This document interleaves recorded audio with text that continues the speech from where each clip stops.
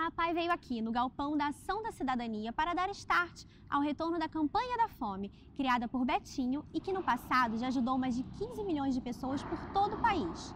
O foco de hoje é arrecadar doações para os servidores do Rio de Janeiro.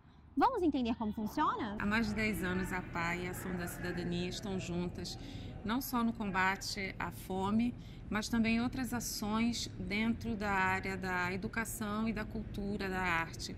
Nós temos vários projetos inclusive nutrindo, e também tivemos outros projetos, como a implantação de bibliotecas comunitárias.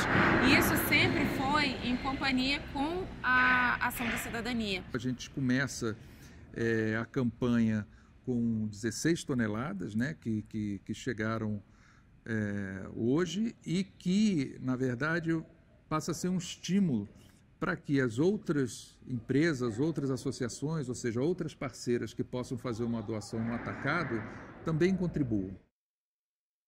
E a parceria da PAI é fundamental por isso, porque além de estar contribuindo com o leite, com as doações, com os livros, com diversos projetos, dá essa visibilidade né, para esse trabalho que é realizado.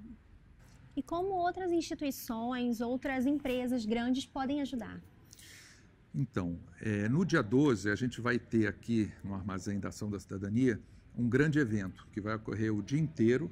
A gente, de noite, a gente tem o show do Hamilton, Hamilton de Holanda com convidados e durante o dia a gente vai ter apresentações de circo, de teatro, é, de dança, é, vai ter workshops, oficinas e vai estar recebendo essas doações. Então, a qualquer momento do dia, você pode passar aqui você pode é, procurar a gente, deixar a doação, ou você pode né, entrar no nosso site ou entrar no nosso Facebook, que está lá o nosso evento, com várias outras formas de, de participar, né? seja através de doação de recursos, enfim.